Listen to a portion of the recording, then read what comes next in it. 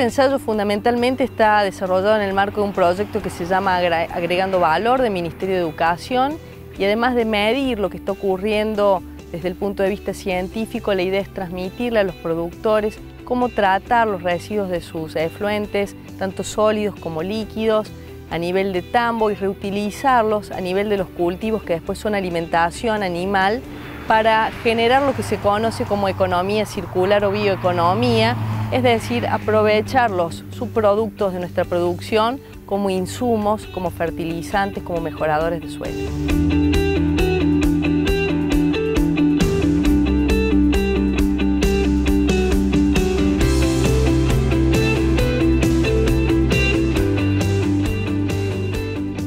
La verdad que hoy nos juntamos con todo el equipo de la facultad, de la universidad, y la verdad que ya nos juntamos y empezamos a comenzar a analizar un poco los, datos que ellos están teniendo. No se terminó todavía la conclusión de los datos, ya que el periodo del cultivo todavía está en verde, no, no pudimos cosecharlo, esto va recién a tener algo de datos en junio. Estamos observando un maíz que ya está madurando, todavía no está apto para la trilla. Hemos estado evaluando en esta jornada un testigo, una aplicación de enmienda estabilizada de unos 10 toneladas por hectárea, 25 eh, toneladas y 50 toneladas por hectárea son lo que eh, se está evaluando en este maíz. Eh, a nivel de suelo, todo lo que tiene que ver con la parte química de nutrientes, a nivel de planta, lo que tiene que ver con materia seca y cuando se coseche vamos a evaluar el rendimiento de este cultivo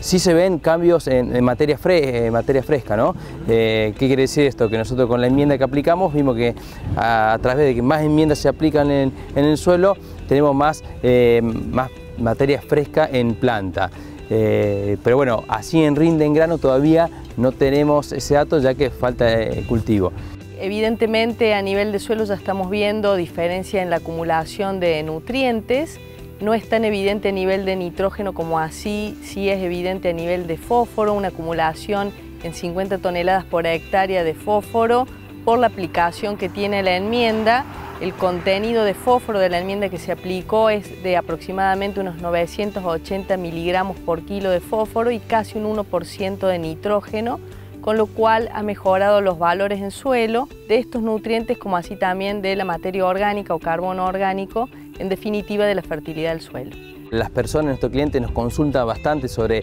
sobre esta enmienda, de qué aplicar, cómo aplicar y qué hacer. Eh, eso lo estamos trabajando y, en la máquina hace dos años que venimos con este proyecto y ya salimos en el mercado, eh, hicimos una, regulación de esta América y poder regular y que ellos dependiendo de lo que tengan en el suelo y la enmienda que puedan eh,